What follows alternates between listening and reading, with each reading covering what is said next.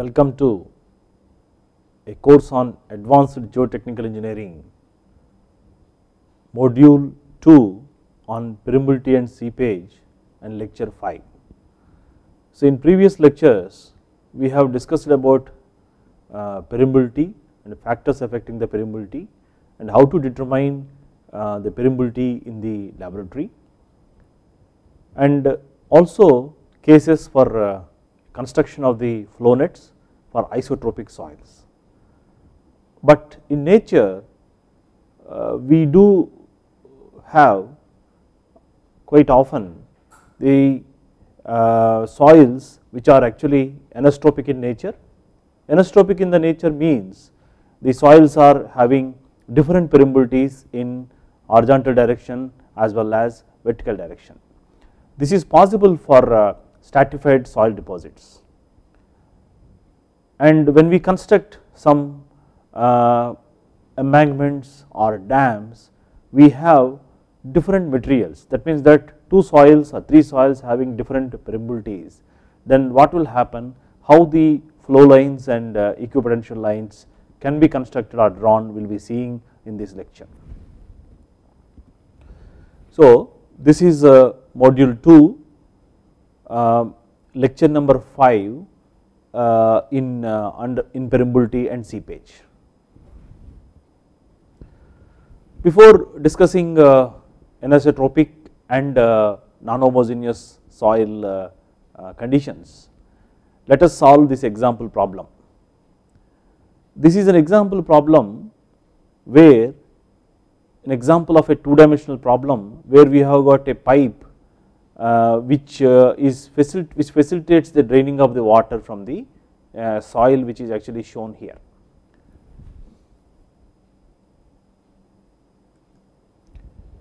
So this particular case there is a ground surface and two dimensional problem because it is basically a plane strain structure where the length is actually uh, perpendicular to the length of this uh, figure it is continuous in nature.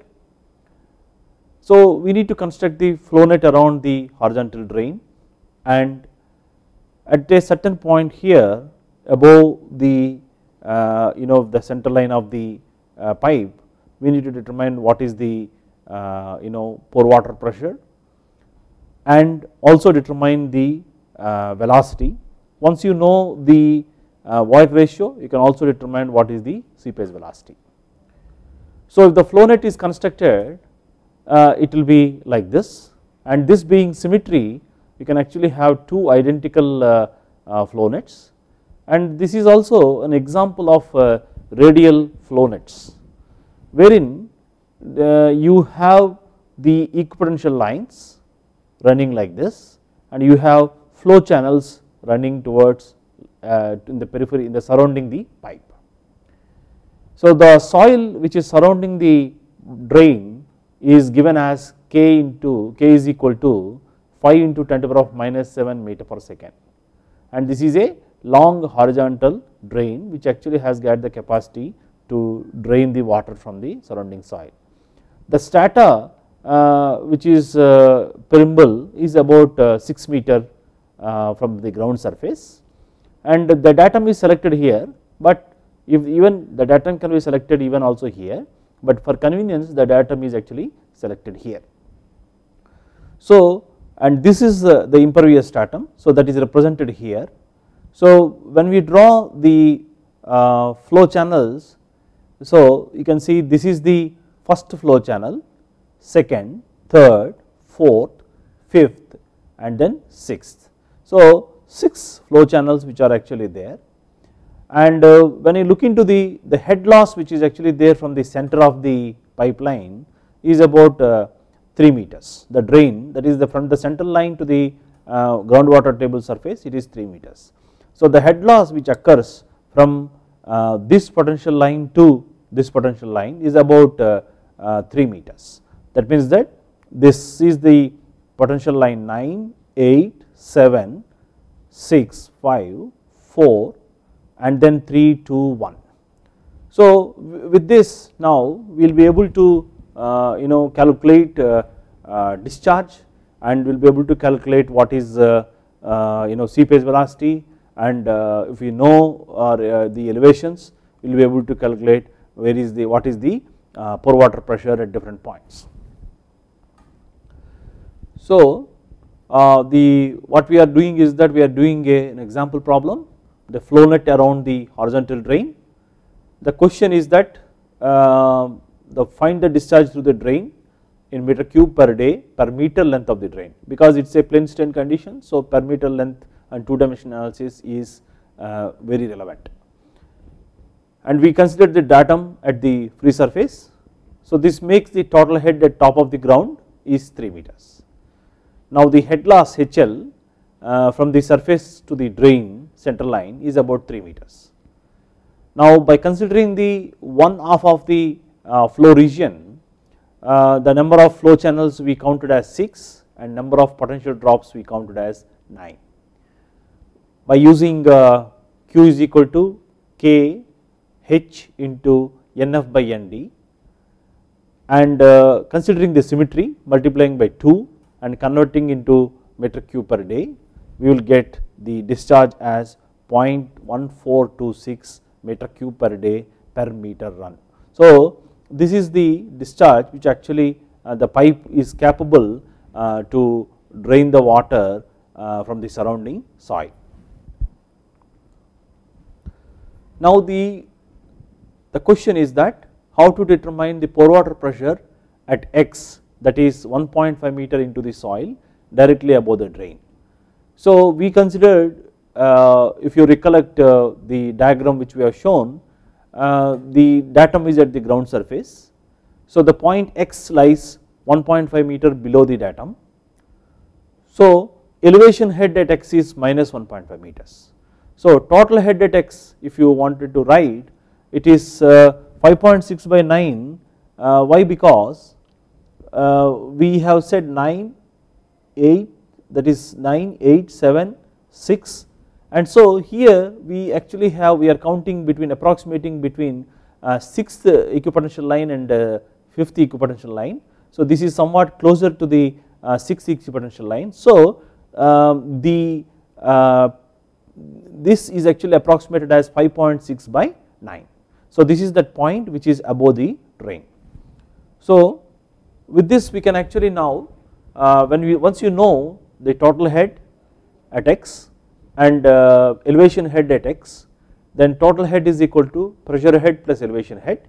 So we need to calculate what is pressure head at x. So it is nothing but uh, 1.867 meters that is nothing but 5.67 divided by 9 into 3, 3 is the total head loss. So with that we will get 1.867 minus of minus 1.5 you will get uh, with that 3.67 meters. Now taking uh, uh, gamma W of the water permeating through the drain is say uh, having 10 kilonewton per meter cube. The pore water pressure at x is given as 3.67 into 10 that is 36.7 kilopascals or kilonewton per meter square. Now next question is that estimation of the velocity of the flow at x. Once we know the uh, velocity, once we know the void ratio, we can also determine what is the seepage velocity of that point. So we said that between each uh, uh, potential line, the potential drop is nothing but uh, is nothing but uh, uh, 3 by 9, which is nothing but 0.33 meters. So between each, that is that means that from 9th equipotential line to 8th equipotential line, the potential drop is 3 by 9, that is 0.333 meters. And if the length of that small incremental flow line is known from the say flow net which is drawn onto the scale then we can calculate what is the hydraulic gradient. That is nothing but 0.333 divided by 0.4 which gives 0.83. By using Darcy's law V is equal to Ki, K is given to us and I is actually estimated as uh, uh, 0.83 we will be able to calculate what is uh, the discharge velocity or superficial velocity at that particular point. So that is actually obtained as 4.75 into 10 to the power of minus 7 meter per second and if we uh, if you use Vs is equal to V by N then uh, by using the porosity by knowing the void ratio calculating the porosity we can also calculate the seepage velocity at that point. So coming to the uh, flow nets in anisotropy soils particularly in uh, sedimentary soil deposits. Uh, there is always a possibility that the condition of anisotropy occurs. That means that uh, the, the soil or permeable soil layers soil layer or soil layers are no longer uh, isotropic in nature. They have uh, different permeabilities. So for example in this case uh, when we consider the two dimensional cases that is x and say z direction the permeability in both x and z direction is different so if a flow occurs parallel to the bedding planes the flow lines are also parallel to these planes and the hydraulic gradient has at every point uh, of every bed the same value of i which is independent of the coefficient of permeability of the beds. So the k horizontal combined or equivalent we can actually get by 1 by h into k1 h1 plus k2 h2 so on to kn h1 where n number of layers can be accounted. Suppose we are having say 2 layers uh, k equivalent horizontal is equal to 1 by h into k1 h1 plus k2 h2. Similarly, uh, when the flow is occurring right angles to the bedding planes, every water particle passes in succession through every one of layers. Since the flow is continuous, the discharge velocity V must be the same in every layer, whereas the coefficient of permeability of the layers is different, hence the hydraulic gradient must also be different. So when the coefficient of permeability is different, the hydraulic gradient is different, so I is equal to I1 plus I2 plus I3 by using again uh, V is equal to K and then uh, simplification we get K vertical equivalent of uh, uh, uh, n number of layers. Say for example having thickness H1, H2 so on to Hn we get H divided by H1 by K1 plus H2 by K2 so on to Hn by Kn.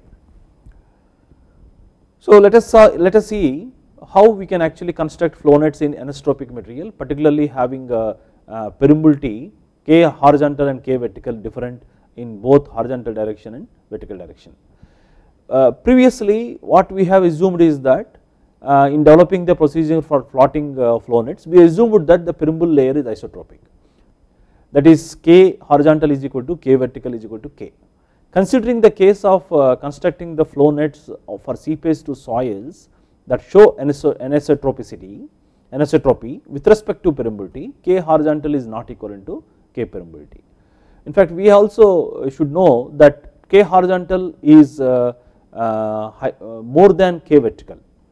The reasons are you know the ease with which water water can flow through the in the horizontal direction uh, is superior than vertical direction the reason is that the sigma horizontal which is actually available at any given point for, uh, for major types of soil deposits is less than uh, sigma v.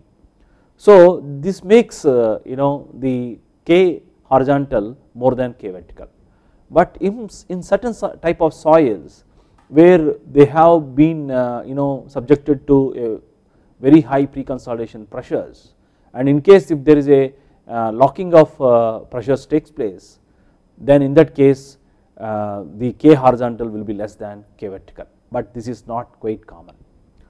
So we actually have discussed the Laplace equation when you have got kx is not equal to kz and for two dimensional problems we can write this kx dou square h by dou x square plus kz dou square h by dou z square is equal to 0 where k horizontal is represented here as kx and k vertical as kz.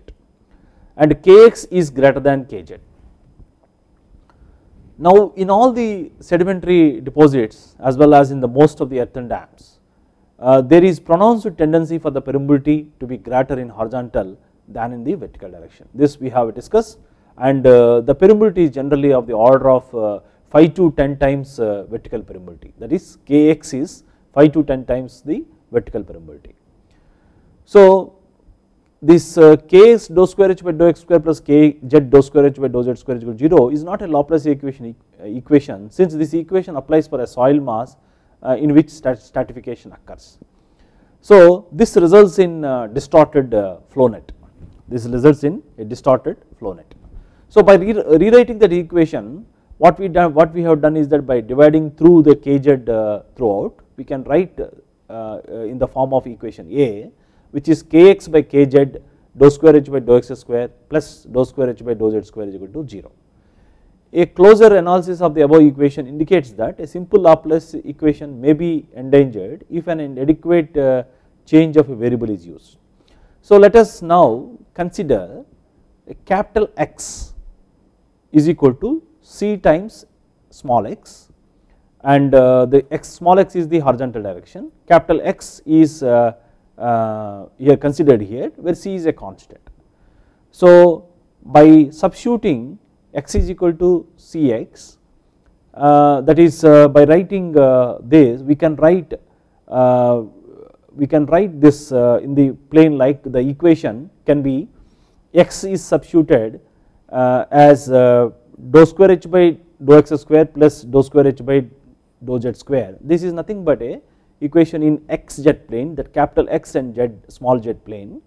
So by writing x is equal to capital X is equal to Cx we can write this dou square h by dou Cx whole square plus dou square h by dou z square.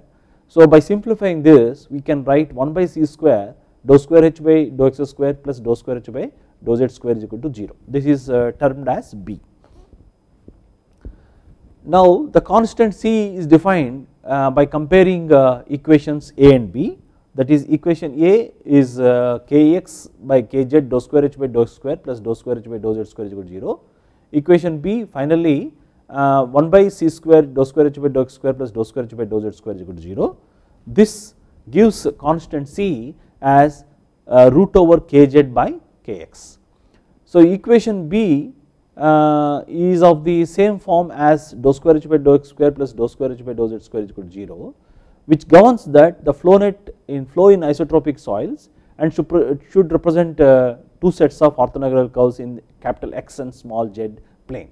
So we can write capital X is equal to root over uh, root over the ratio of the vertical and horizontal permeabilities root over kz by kx into small x. Now by using this uh, concept uh, let us try to write uh, you know the construct you know the convert this natural anisotropic section into a transformed section by using the logic what we discuss.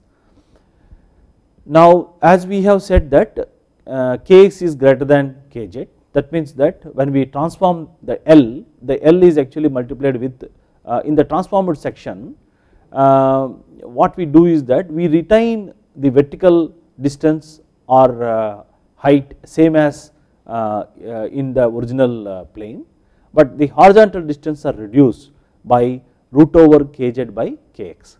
So the transformed flow through natural anisotropic section is given as that is direction of the flow which is shown there and which is nothing but kz and then kx and what we are actually doing is that by converting into transformed section we are actually making this into the equivalent permeability uh, in both the directions. So the anisotropic case is converted into an isotropic uh, section by transforming from anisotropic uh, section to uh, transformed section. The assumption is that anisotropy merely causes linear distortion of the flow net.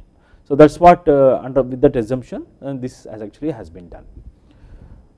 Now starting with the natural section that is uh, the flow quantity in the anisotropic section can be given as q is equal to L into 1 because L is the length and perpendicular to that plane it is 1, 1 unit. So L into 1 is the area over which this uh, flow is occurring uh, into um, this uh, kz, kz is the permeability in the direction into I.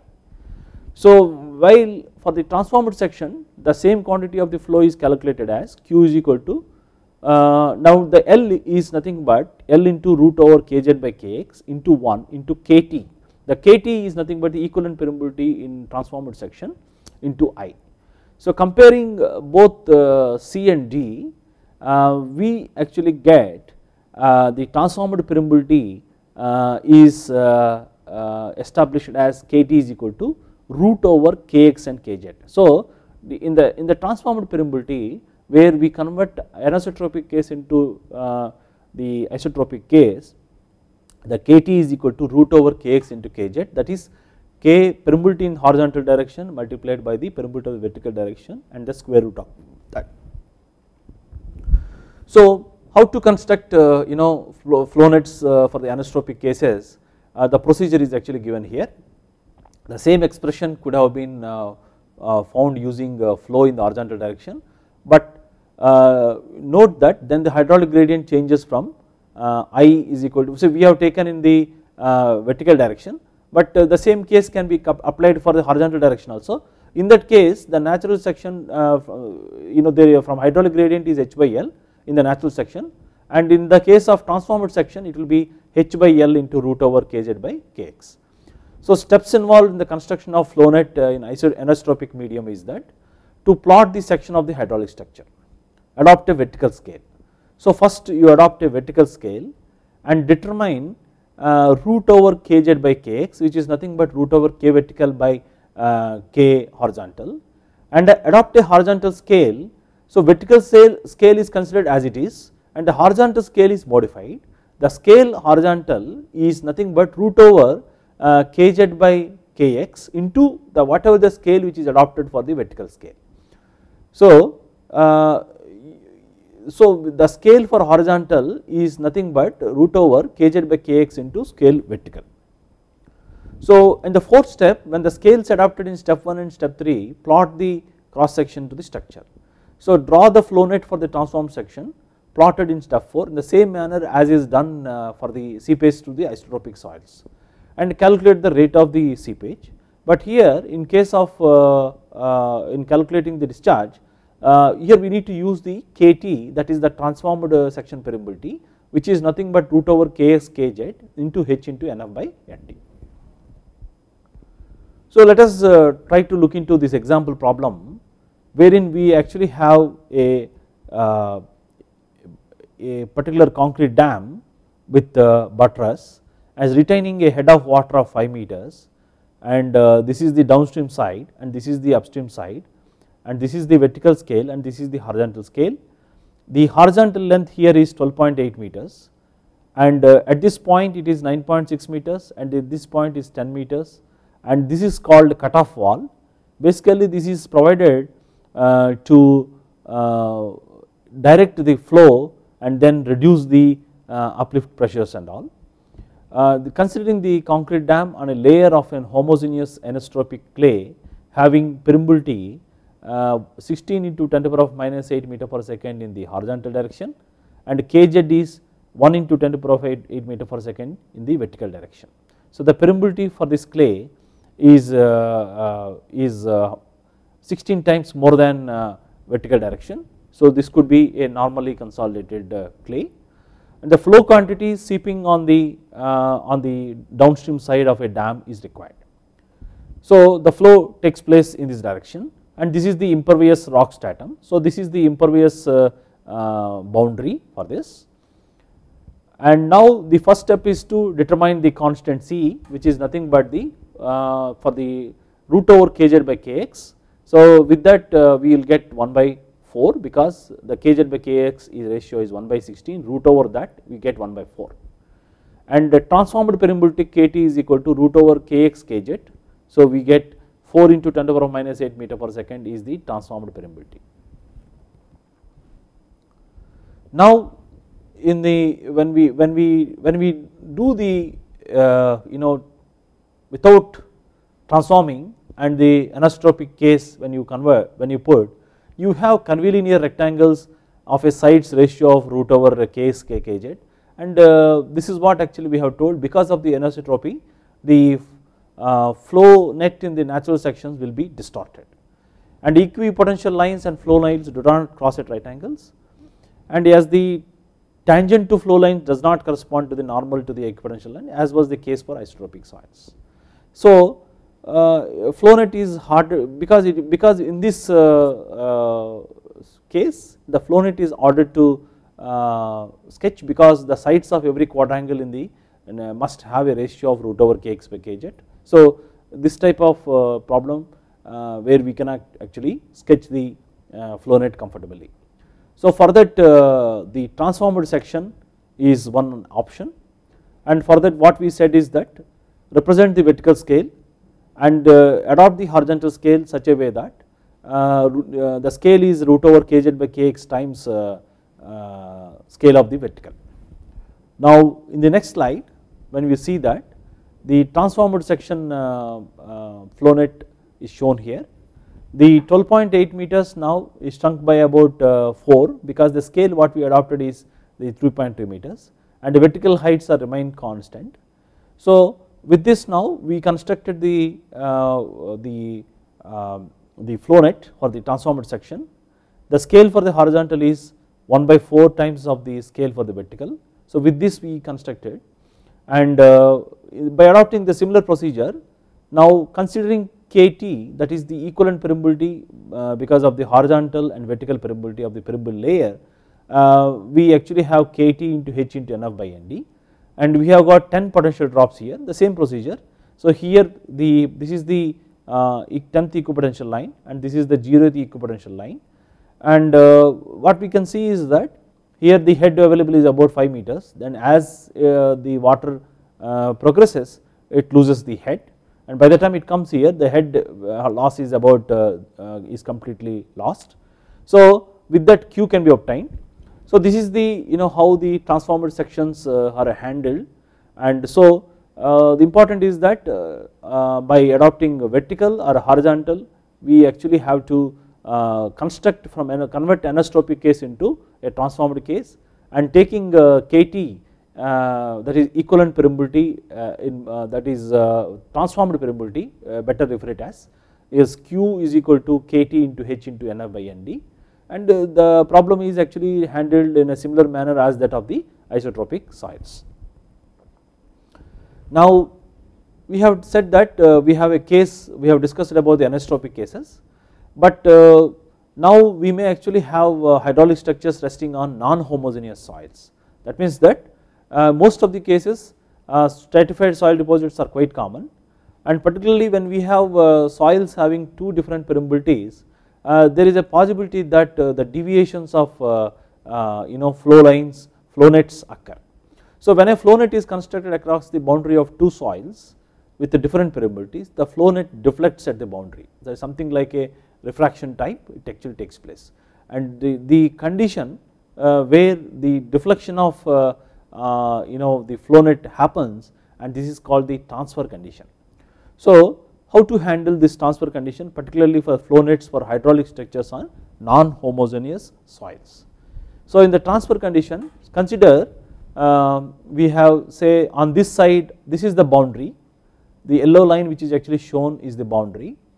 And this side is actually having a soil uh, with permeability K1 and this side we are having a soil with a permeability K2. So here soil 1 having permeability K1 coefficient of permeability K1 and this side we are actually having uh, soil 2 having coefficient of permeability K2. So this is the flow channel so this is the flow line what we see these are the flow lines but once it crosses the boundary it undergo deviation the deviation which is actually shown here. Now here this distance between two flow lines is represented here as B1 and distance between these are the equipotential lines which are actually shown the broken lines here and these are after deviation and uh, here the B1 is this dimension between uh, two flow lines and this is the L1 is the dimension between uh, two uh, adjacent uh, equipotential lines on this side of the boundary. On this side of the boundary that is uh, uh, soil 2 side where this distance is L2 and this distance is B2 and this distance is L2. But as the soil the discharge is same where we have got delta Q enters and then delta Q comes out we are using the equation of continue equation of continuity. So here the uh, let alpha 1 be the angle uh, which makes with the boundary and alpha 2 is the angle which actually makes the flow, the flow line which makes with the boundary. Similarly here this is the uh, equipotential line so this is this angle is theta 2 in boundary 2 that is in the soil 2 and this angle is theta 1 in soil 1. So this is uh, uh, this this angle is theta 1. Now this boundary point on the the point where the deflection of flow line is occurring here is uh, uh, termed as A and this point is termed as B and this point is termed as C. Now by using the uh, geometry we can say that that L1 is equal to AB sin theta 1 is equal to AB cos alpha cos AB cos alpha 1. Similarly B1 is equal to that is B1 is equal to AC cos theta 1 is equal to AC sin alpha 1. Similarly we can write L2 is equal to AB sin theta 2 is equal to AB cos alpha 2 and B2 is equal to AC cos theta 2 is equal to AC sin alpha 2. So uh, by using this we can now uh, handle these uh, cases. Now the let delta H be the loss of hydraulic uh, head between two consecutive equipotential lines. Considering a unit length perpendicular to the section shown the rate of the seepage to the flow channel is given as delta Q is equal to uh, K1 is the permeability of the soil 1 delta H which is the head loss and L1 which is actually there in the soil 1 um, that is the distance between uh, that, that is the uh, distance between any two potential lines. And B1 is the distance between two uh, flow lines into 1 is equal to K2 uh, into delta H by L2 that is the, the hydraulic gradient in soil 2 into B2 into 1. This is because of the equation of continuity and uh, by simplifying that we can write k1 by k2 is equal to uh, b2 by l2 divided by b1 by l1. So by using this expression it is possible for us to uh, construct the flow lines or understand about how the flow lines deviate when k1, k1 is greater than k2 or k1 is less than k2. When k1 is equal to k2 it is which is nothing but B2 by L2 is equal to B1 by L1 is equal to uh, 1.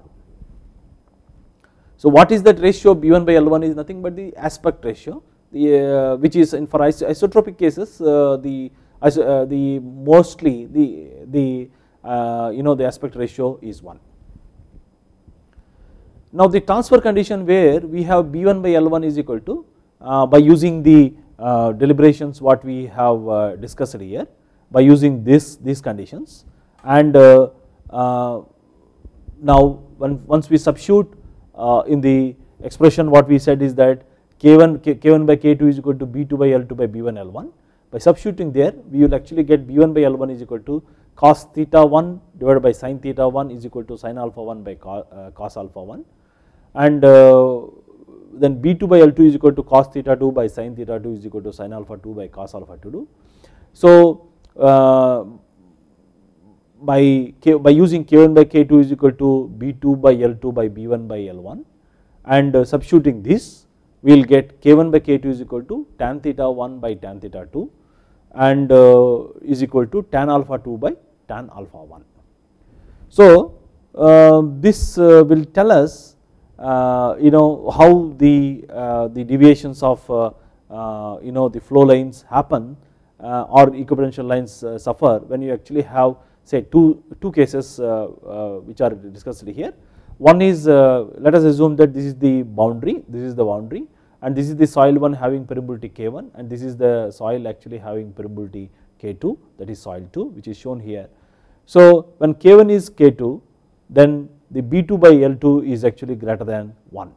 So we have here you get large rectangles and uh, not necessarily that here on the soil 1 boundary where the square elements are ensured in one, one of the soils that is soil 1 it can be vice versa. If you take uh, soil 1 as soil 2 and then this thing.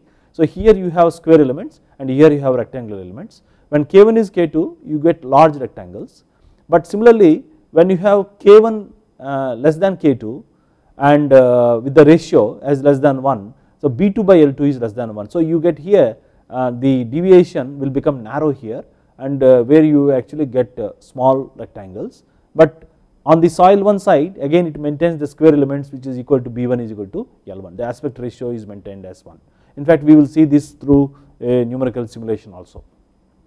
So what the case we discussed is that the flow channel at the boundary between two soils with uh, different coefficients of permeability we can write K1 by K2 is equal to B2 by L2 by B1 by L1 uh, B2 by L2 is in uh, soil 2 region where uh, B2 is the uh, distance between two flow lines after deflection in soil 2, L2 is the uh, you know distance between two equipotential lines.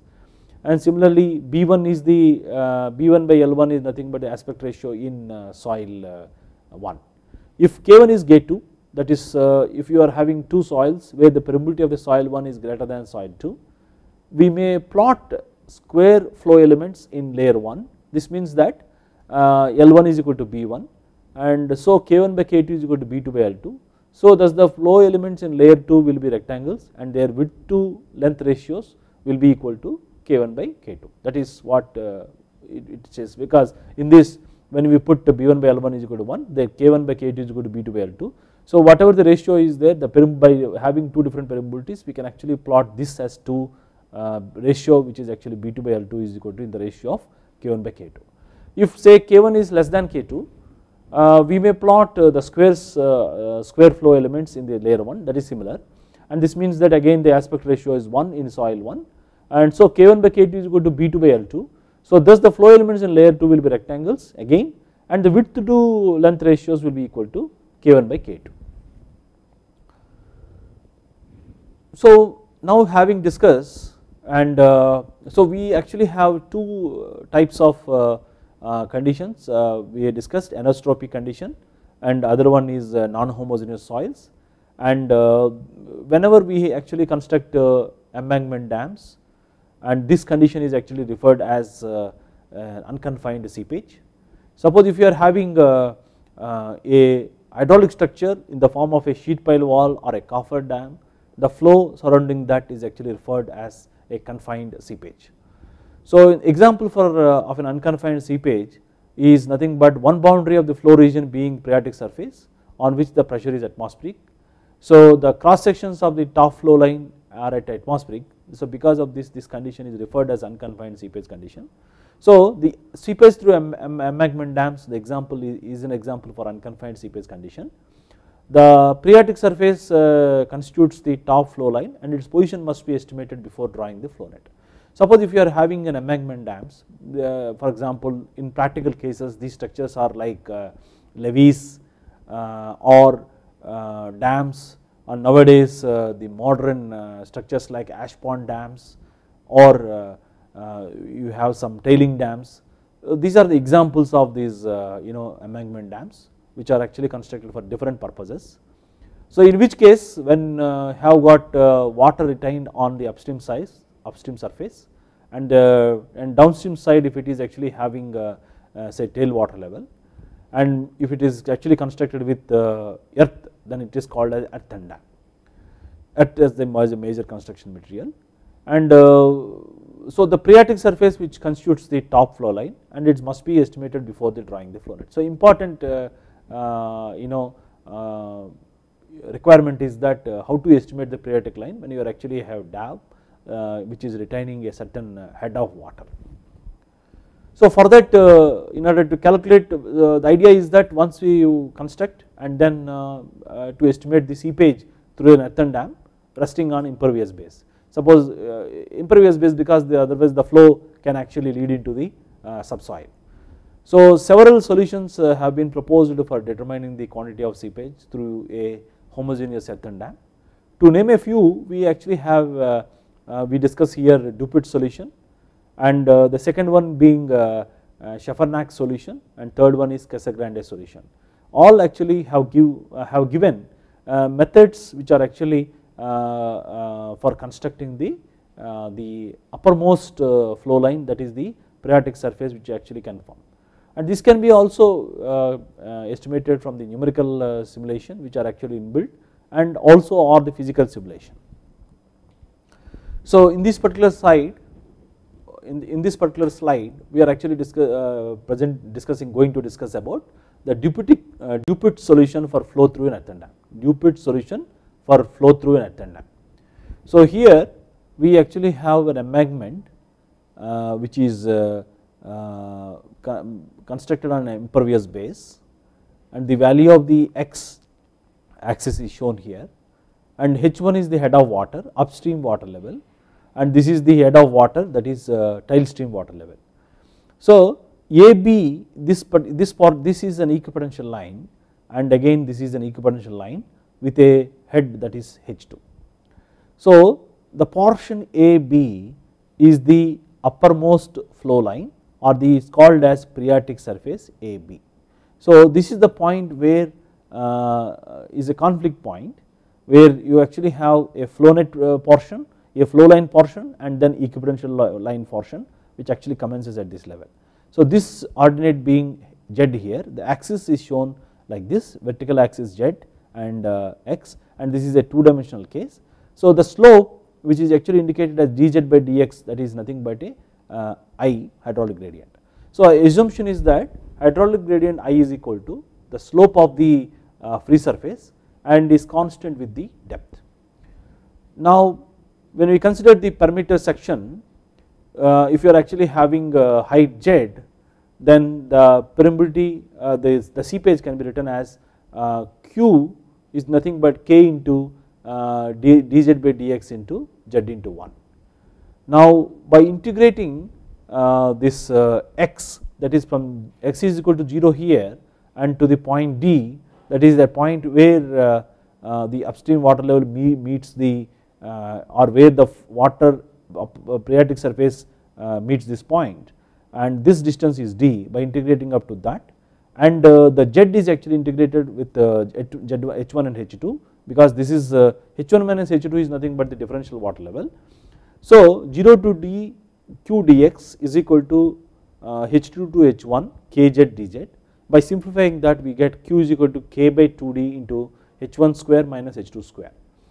So if you look, look into this this is the equation of the parabolic surface uh, which is actually uh, estimated by Dupuit in the solution with an assumption that uh, the hydraulic gradient is nothing but the slope of the free surface and is constant with the depth. So that is what actually assumption which has been made in the Dupuit's solution for estimating the flow through the earthen dam.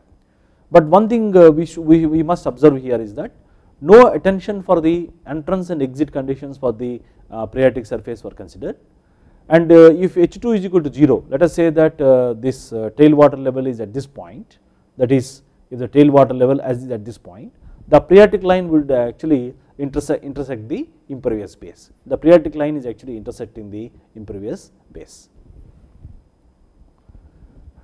In the coming to the next uh, solution that is the Schaffernak solution for flow through an earthen dam and where the phreatic surface uh, is assumed like uh, line AB that is actually which is shown here line AB and uh, will intersect at a distance L along the along the point which is from O to B that is the L here which is actually given from the impervious base. And by considering the triangle OBD the slope which is actually given I is equal to dz by dx and this angle which is actually subtended by this OB with OD is uh, beta. So we can write dz by dx is equal to tan beta. So the hydraulic gradient is considered as dz by dx is equal to tan beta. So we can write q is equal to kz into dz by dx and now that uh, we can write now uh, by substituting for dz by dx is tan beta and uh, z we can write in terms of uh, L sin beta by taking the triangle OBD that is uh, here OBD and with that by integrating from the distance L sin beta to L sin beta is this vertical distance that is this distance to this that is h. And then this this one is that L cos beta L cos beta to uh, d that is the uh, horizontal distance from this point to this point where it meets the upstream water surface. So by simplifying that we will actually get L that is the L is the length along the uh, downstream uh, slope surface which is nothing but L is equal to d by cos beta minus root over d square by cos square beta minus h square by sin square beta. Once we knew L by using the expression now here we can calculate the flow which is nothing but q is equal to KL sin beta tan beta. So this uh, in the Schaffernak solution phreatic surface was assumed to be like an line AB and will intersect at a distance L from the impervious base. So to some extent uh, what Dupuit could not consider has been improvised in this particular uh, solution. The graphical construction for determining uh, L is also given. Uh, previously we have seen the analytical uh, solution and the Schaffernak actually has given the graphical solution also. So here in this the graphical solution goes like this the extend BC downwards that means that the along the slope line this line is to be extended and draw a vertical line uh, AE uh, and will intersect the projection line BC at F. So this is that point F. With FC as the diameter draw a semicircle FHC and the draw a horizontal line AG that is the point where C as the center, C as the center, CG as the diameter as sorry CG as the radius draw draw an arc uh, GH. So it it uh, cuts at H. So with F as an F as an center, F as center, FH as uh, uh, radius, draw an arc HB. Uh, so B is the point by measuring the distance uh, graphically we can determine BC is equal to L. So how to uh, look uh, determine L once we get the L then there is a possibility that we will be able to estimate again the flow through an earthen dam by using Schaffernak solution. Now third uh, solution what we discussed and put forward is the Casagrande's solution. In Casagrande in 1937 he has shown experimentally that the parabola AB actually starts from point A dash uh, which is uh, that is AA dash is equal to 0.3 delta. So uh, the parabola was assumed uh, is assumed in the Casagrande solution as that the parabola starts instead of at this point it actually so the entrance correction which is actually given here with the 0.3 delta and the slope of this line again dz by dx and the ds which is shown and this length is L which is considered and this angle is beta and this point is the this is the vertical axis and this is the horizontal axis and this delta is nothing but from the upstream uh, point where it meets this distance to and this distance this is delta. So it is one third of this distance was considered by Casagrande and with the modification uh, uh, with this modification value of d is equal to a dash c that is the value of d will be equal to a dash c that is this particular distance. So considering uh, now the triangle uh, BCD we can write I is equal to dz by ds is equal to sine beta considering uh, uh, BCD instead of dz by dx. So here he has been, he has considered dz by ds is equal to sine beta and using uh, q is equal to kia uh, where flow is actually happening perpendicular to the plane and uh, where q is equal to k uh, sin k sin beta into that is sin beta is nothing but dz by ds and uh, and then a that is the area of the cross section which is nothing but the vertical distance is nothing but L sin beta. So with that we can write q is equal to k L square sin beta. By solving for L we get uh, L is equal to uh, s minus root over s square minus h square by sin square beta where uh, s is equal to root over d square plus h square where the s is nothing but uh, uh, the length of the curve a dash a dash b c a dash b c length of the curve is obtained nothing but d square plus root over uh, d square plus h square. Once L is known uh, the rate of seepage uh, q can be calculated. Once the L is estimated the rate of seepage can be estimated. Because Casagrande solution further the plotting of the phreatic line for the seepage to earthen for construction of the flow nets for seepage to earthen dams the phreatic line needs to be established first. So the curve A dash E uh, B dash C is a parabola with its focus at uh, C that is the focus at C. So when the parabola runs like this this is the way it actually erupts and the phreatic line coincides with the parabola the, with some deviation upstream and downstream phases and this is the directrix. So all point at point A at point A uh, the phreatic line starts at an angle 90 degrees. So with this uh, Casagrande solution the procedure for constructing parabola is uh, given as follows. So parabola here is nothing but a dash e f b dash c. So here c c dash is equal to p that is c c dash is equal to p the from the distance which is equidistance from the, this side is again p. So AC uh, which is nothing but root over uh, x square plus z square a is a point with coordinates x and z AD is nothing but AD is nothing but 2p plus x. So AD distance horizontal distance is nothing but 2p that is uh, from the directrix it is 2p plus x. So AC is equal to AD uh, based on the properties of the parabola.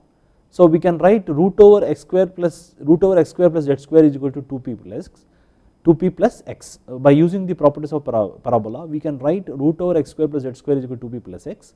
So at, at x x is equal to d that is x is equal to d and z is equal to h we can write p is equal to 1 by 2 root over d square plus h square minus d. By knowing d and h p can be calculated.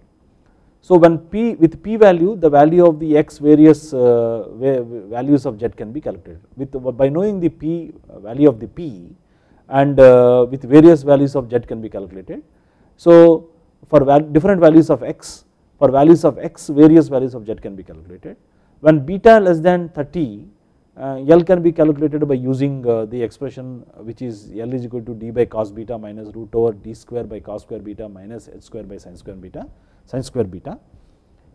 Uh, otherwise uh, the table which is actually given also allows to estimate the length uh, delta delta L and uh, for beta this, this is for a beta less than 30 degrees.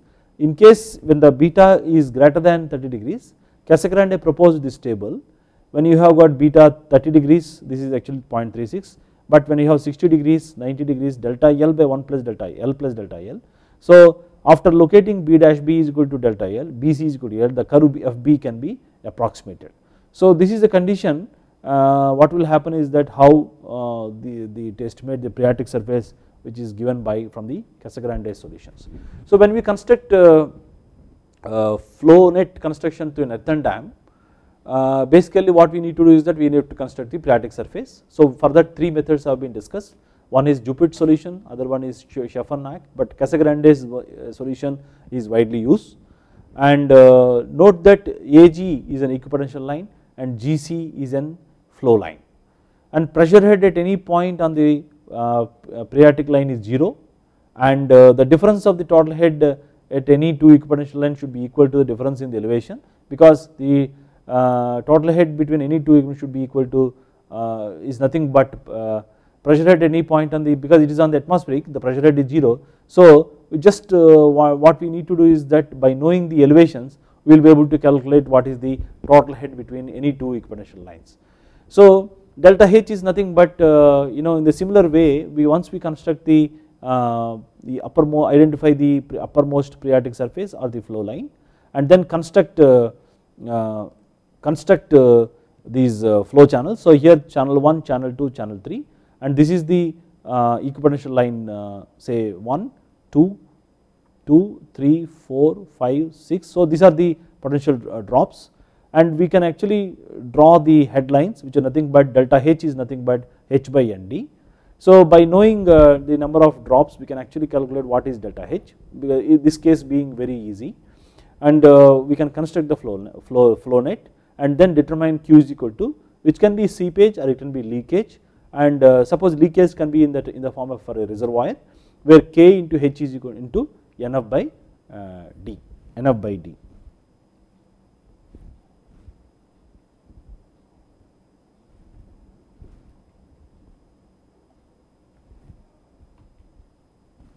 So in this uh, particular lecture uh, we actually have discussed uh, uh case for anisotropic case and uh, when you have actually have got uh, then we said that it has to be changed to transformed condition and when you have got say non-homogeneous soils and how the flow nets deviate and all we have discussed and and then when we have say embankment dams or unconfined seepage conditions we have discussed about how a flow net can be constructed.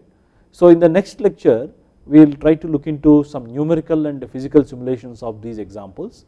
And then uh, we will try to see how uh, you know the use of filters uh, or the chimney drains uh, helps in uh, you know changing the course of these uh, phreatic surfaces which are phreatic surface which will be there within the earthen dam.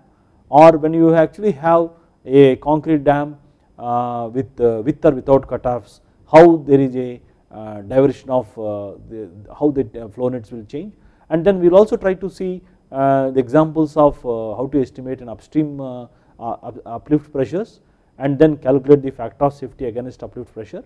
In case if there is a case of uplift then how this can be solved by using some case studies we will discuss in the next lecture of this particular permeability and seepage module.